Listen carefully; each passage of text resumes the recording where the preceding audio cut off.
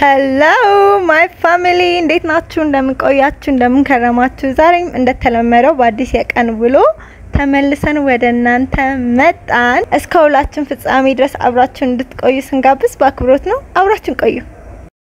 የብዙ ሰዎች ትግል ተሸንፎ ላለመታየት ነው።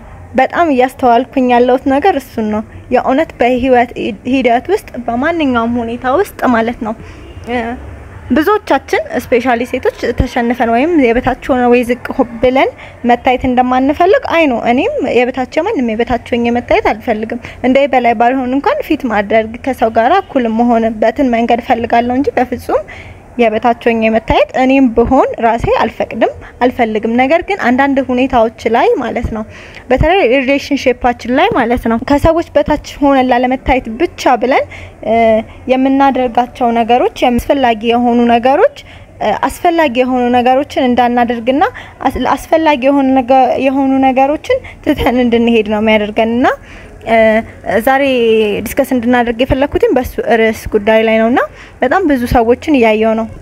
perfect የሚባል relationship አላቸው እንዲባል አላት ወይም አለው እንዲባል በጣም አላስፈላጊ የሆኑ ነገሮችን ሲጣጣሩ ጊዜያቸውን፣ እድሜያቸውን፣ ሁኔታዎችን ሲከፍሉ ዋጋ ሲከፍሉ በጣም እያየው ነውና ማንም ሰው perfect ህይወት የለውም። አንድ እውነት ልንገራችሁ፣ እውነት ቲክቶክ ላይም እዚህ ቻናል ላይም ዩቲዩብ ላይም ኢንስታግራም ላይም በጣም ብዙ አሁን ላይ የተለመደው trend ያው የ couple ቪዲዮ ነውና ብዙ ቪዲዮዎች ስታዩ perfect ኑሮ የሚኖሩ የሚመስላችሁ ሰዎች like እንደሱ አይደለም። በፍጹም እንደዛ አይነት ህይወት ማንም የለውም እና ሁሉም ሰው አለኝ የሚለውን ነገር ነው የሚያሳየው። የተሻለውን ነገር ጥሩውን በጎውን part ነው የሚያሳየው። that means እነሱ ትክክለኛ ህይወታቸውን እያሳዩ አይደለም ማለት ፈልጌ አይደለም። ነገር ግን እነሱ የሚያሳዩት ጥሩን ጎናቸውን ነው፣ ጥሩን part ኣቸው ነው፣ ጥሩን part ኣቸውን ነው። የጎደላቸውን የሚጨቃጨቁበትን የሚያጣላቸውን ነገር በመጀመሪያ ቪዲዮ record አድርገው ሊያሳዩን አይችሉም። በቃ obvious ይሄ ሊሆን አይችልም።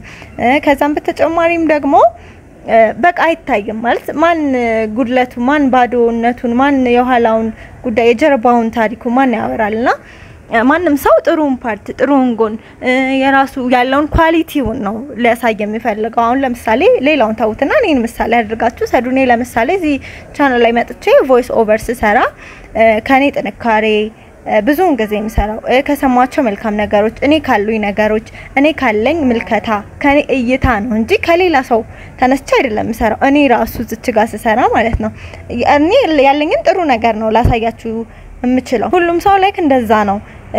relationship ላይ ስንመለስም ልክ እንደዛ ነው። ሁሉም ሰው የራሱን quality ውን ነው የሚያሳየው። የራሱን ጥሩን part ጥሩን በጎን part ነው የሚያሳየውና ሰዎችን ለማሳመን አንጋጋጥ። የምር ምንም መጋጋጥ አያስፈልግም። ማንንም ለማሳመን አንኑር።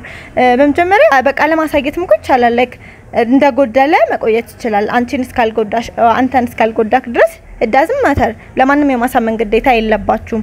አንቺም ሆንሽ አንተ ትዳራችሁ ውጤታማ ነው፣ ስኬታማ ነው እንድትባሉ መጣር አይጠበቅባችሁም።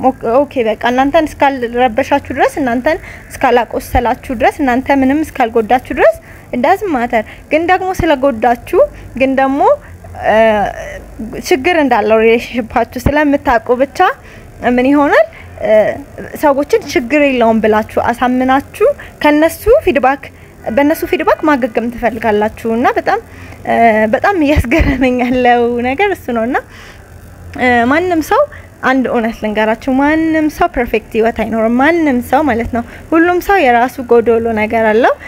relationship ላይም ልክ እንደዛ ነው። ሁሉም relationship የራሱ የሆነ ደካማ ጎን አለው። የኔ ባል ሊያደርግልኝ የሚችለውን ነገር ያንቺ ባል ላያደርግልሽ ይችላል። ያንቺ ባል የሚያደርግልሽ ነገር ደግሞ የኔ ባል ላያደርግልኝ ይችላል።